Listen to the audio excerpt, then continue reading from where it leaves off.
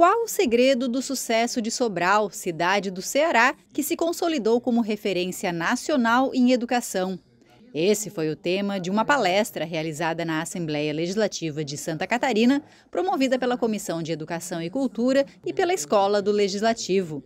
No evento, o secretário de Educação de Sobral compartilhou as experiências educacionais bem-sucedidas do município, que ganhou reconhecimento pelos resultados consistentes e acima da média nacional em avaliações como o Índice de Desenvolvimento da Educação Básica. O resultado é fruto de um trabalho de longo prazo. Há quase 30 anos, a Prefeitura adotou um novo plano de gestão educacional, com foco na erradicação do analfabetismo, na redução da evasão escolar e na valorização dos professores. Após priorizar os investimentos em educação e obter sucessivos resultados positivos, Sobral foi considerada pelo Senado a capital da educação do Brasil. O município de Sobral tem implementado uma reforma educacional bastante importante nesses últimos 28 anos,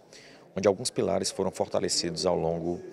é, do tempo, dentre eles o fortalecimento da gestão escolar, então processos meritocráticos técnicos para a seleção de diretores e coordenadores, capacitação e qualificação continuada, assim como também uma política voltada ao aprimoramento das práticas pedagógicas dos professores em sala de aula. Então nós criamos uma escola de formação continuada de professores, materiais didáticos estruturados e um sistema de avaliação e monitoramento que coleta as evidências do desenvolvimento cognitivo das crianças e atrela isso a uma política de reconhecimento, de valorização com os profissionais do magistério, fazendo pagamento de premiações, de bonificações, de incentivo para valorizar e ao mesmo tempo também estimular os professores para os bons resultados de aprendizagem dos estudantes. É evidente que é um município, portanto, a proximidade dos dirigentes com os professores e com os alunos e com a família desses alunos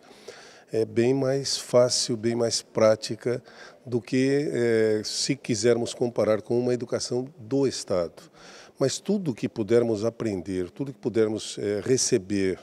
de orientações do que foi feito em Sobral nesses últimos praticamente 30 anos, para ser mais exato, 27 anos, são oito prefeitos que foram substituídos ao longo desse período. E mesmo assim se colocou a prioridade para a educação na manutenção de projetos que valorizam o professor, que, que priorizam é, a meritocracia na avaliação do trabalho desenvolvido, que acompanha aluno por aluno em suas casas. E lá a gente vê que é, uma, é, é um município e um estado que conseguiu patamares de alfabetização é, de formação continuada, de valorização do professor e de gestão democrática da educação que deve ser estudado. Eu sempre digo que modelos não servem para todos os estados e municípios, mas a gente precisa aprender com quem está fazendo educação e que tem perspectivas positivas.